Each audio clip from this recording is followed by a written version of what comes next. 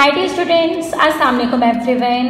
Today we are going to do topic writing of workbook and the unit number 6. This is a bird.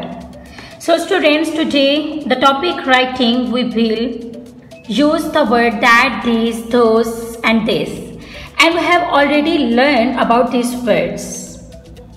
So I am going to read the statement. Choose the clue words to write sentences using the words this, that, these or those.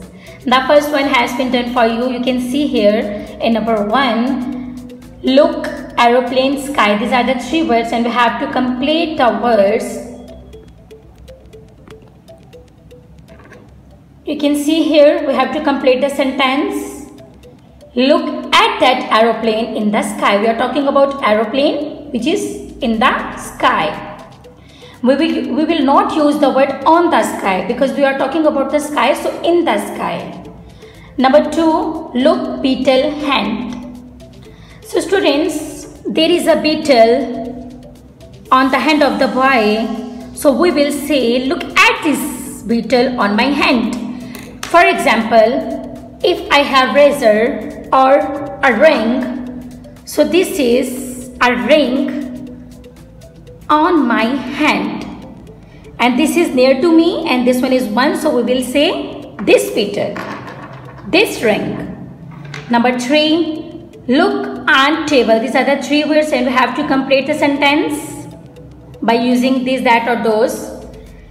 So first of all we will look in the picture. This one is the picture of a table and there is an ant so we will say look at that ant on the table. For example, this one is perfume that is you can see on the table. So look at that perfume on the table because perfume that is a single one object so we will say that. So number 4 Look bird sky. We have to complete the sentence by using the word these, that, those.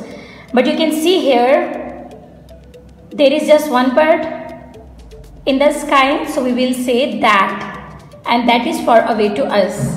Look at that bird in the sky. Number five, the last one, these words, three words are here.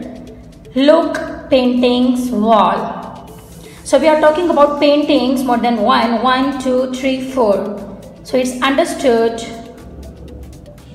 We will say these paintings because these paintings are near to us and these are more than one. So we will use the word these. Look at these painting on the wall.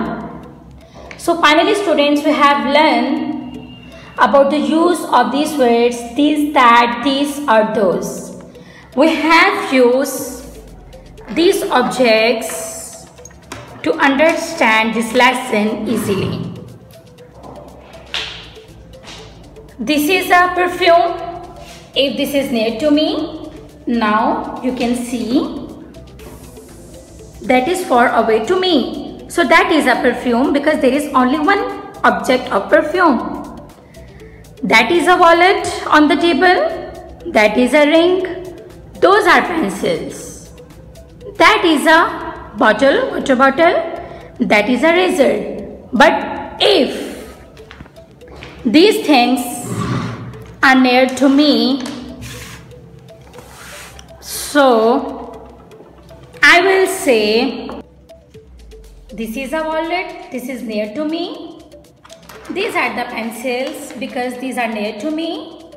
This is a water bottle. This is near to me. This is a razor. This is near to me. This is a watch. So students, I hope now you can easily understand this topic of the writing. Thank you.